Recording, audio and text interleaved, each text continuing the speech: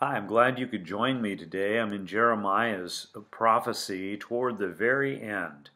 Of the 52 chapters, I'm in 51 right now, and especially in verse 11 of that particular passage. Now, in this, God brings or tells through Jeremiah, judgment is pronounced upon Babylon. At this particular juncture, he's not brought the judgment upon them, but he's going to.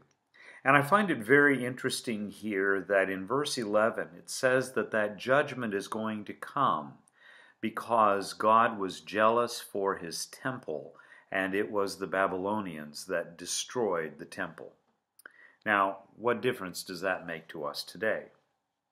Let me suggest that many times we feel like there's not justice in this world.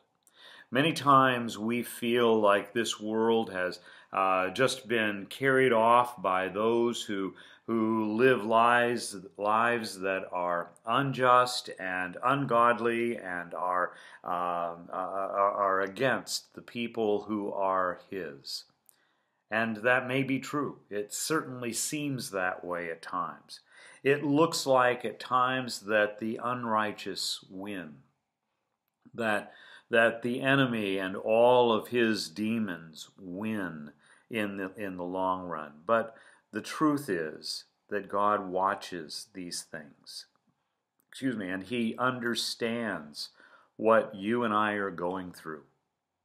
And he recognizes that people uh, that, that are faithful, who have prayed, who have, who have given themselves to the truth, are hurting because of the injustices that are in our world.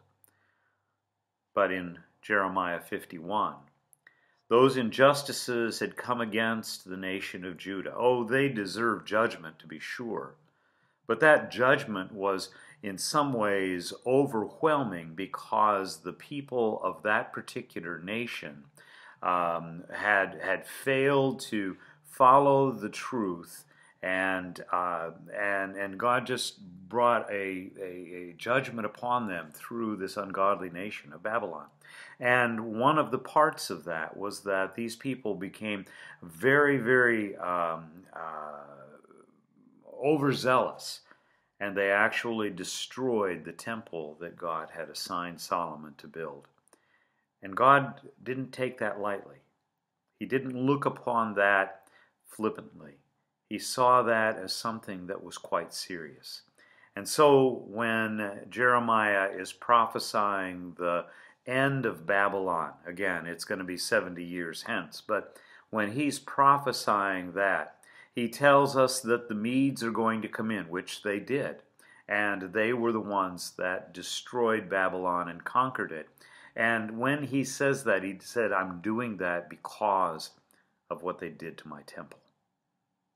Now, I want us to remember that there are times when it looks like the ungodly win.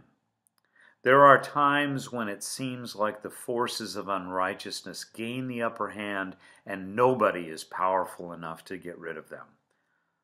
That's wrong. The Lord Himself is still sovereign, He's still on the throne. He's still the one who is over all and in all and through all and every all is going to have to bow before him. Every one of us. There is a higher throne we sometimes sing in our church, and it's not it's not a higher throne on this world. It's a higher throne in the heavenlies, and he has not abdicated his his throneship, his sovereignty, his rulership over this particular world. So I hope that encourages you. It's, it's still discouraging when we're in the midst of it. It's still discouraging when we want vindication. But the reality is that that vindication is going to come. Justice will be done finally.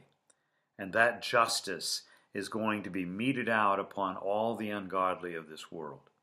Now, the good news for you and me who know Christ is that that judgment need not come against us.